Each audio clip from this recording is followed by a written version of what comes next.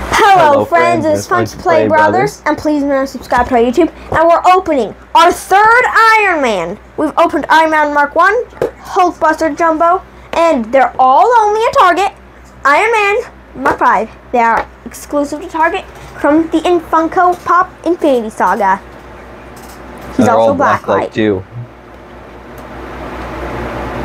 The only one we don't have is the one that looks like normal Iron Man. All of them look like normal Iron Man. Yes, but they're not colored different. Mark Oh, 3 like actually looks like neon normal colors. Iron Man. yeah, normal Iron Man colors.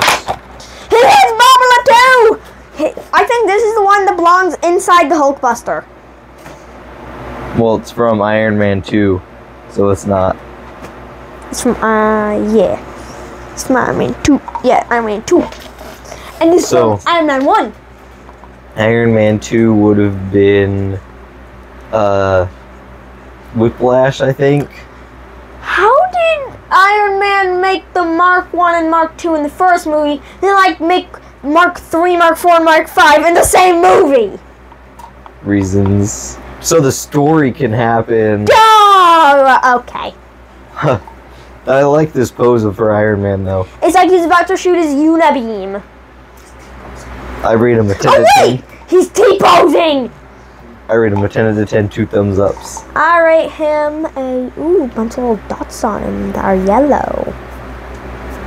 I rate him a 10 million out of 10 million, 1 billion thumbs ups.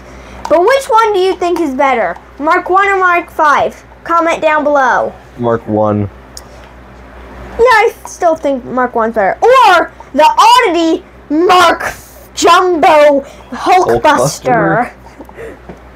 So, friends, thanks for watching. Like, comment, subscribe, hit the notification bell. Follow us on social media, Funky Play Brothers and Funky Play Bros. Support our vlog at Cash App, the dollar sign Funky Play Bros. Thanks Thank you for watching. Bye.